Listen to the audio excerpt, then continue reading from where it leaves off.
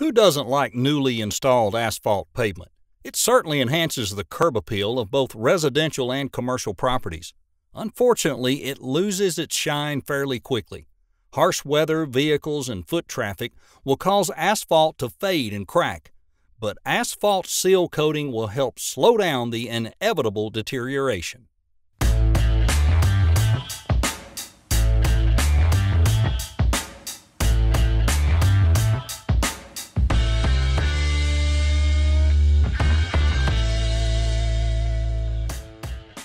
DIY project?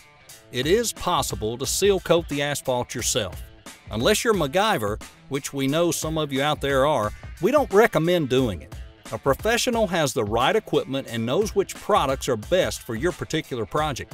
A good asphalt seal coating contractor knows how to do the job right, extending the life of your asphalt pavement.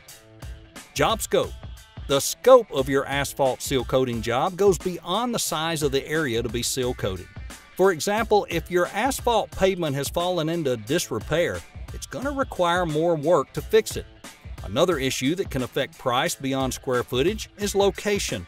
A long, steep driveway is more challenging for the contractor than a flat parking lot. You may also require the asphalt seal coating contractor to repaint stripes. This too will add to the final cost. Research. Finding a good asphalt seal coating contractor requires you to do a bit of research. Websites. Start with their website. This should tell you how many years they've been in business, whether they're licensed, bonded, insured, and what organizations they might be associated with, like the Better Business Bureau. They may even have before and after pictures of jobs they've completed. References. Ask for recent references and be sure to contact them. You'll want to know the scope of the job and how long it took the contractor to complete it. Ask the customer if they would hire the asphalt seal coating contractor again and try to get them to tell you how much they paid for the work, or at least if they felt they paid a fair price. Reviews.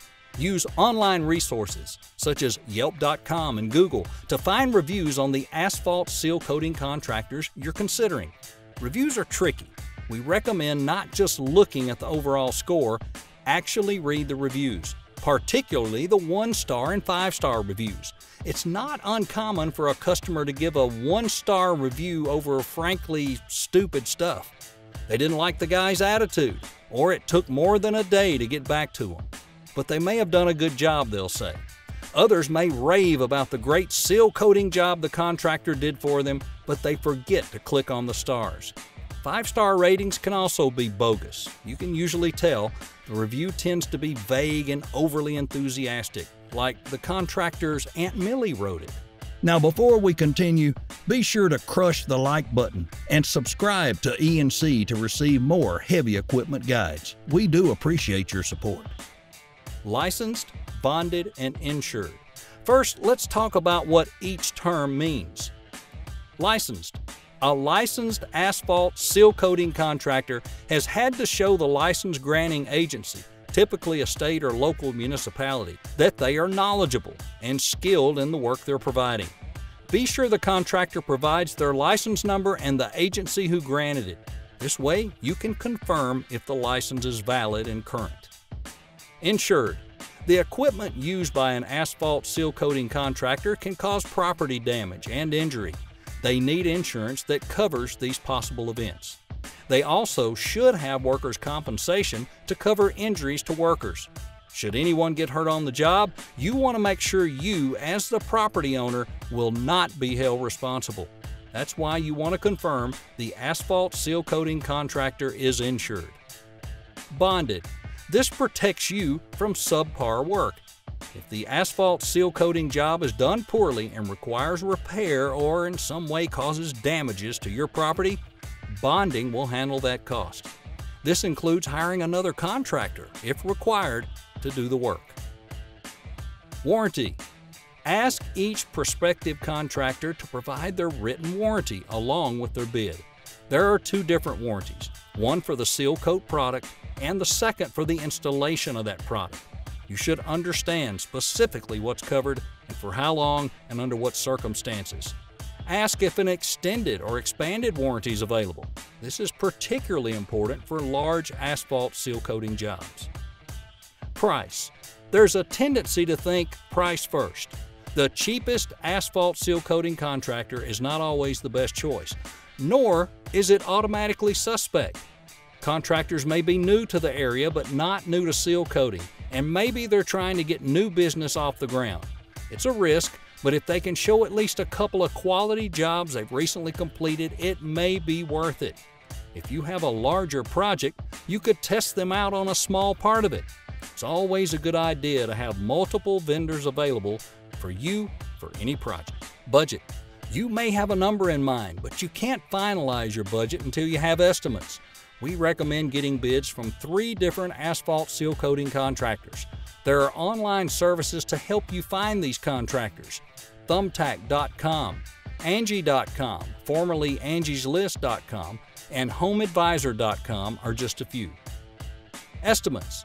You'll want to know the specific products that the asphalt seal coating contractor will use. Be aware, a contractor may quote a lower price because they're watering down the seal coating product. This possibility is mitigated by selecting a contractor who's bonded. They're not likely to use an inferior product that results in work that has to be repaired.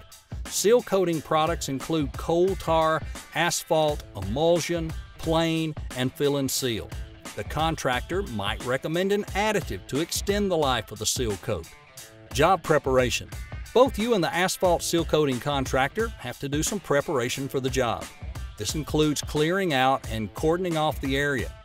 Seal coating should be done in dry weather at temperature of 50 degrees Fahrenheit or higher.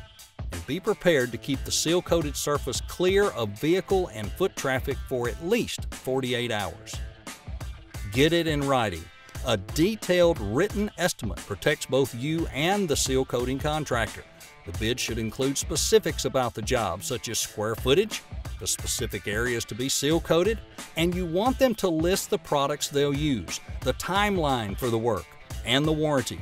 And be sure the estimate has the name of the business, license number, and proof that the contractor is bonded and insured. Wrap up. Hiring a good asphalt seal coating contractor requires you to do some research.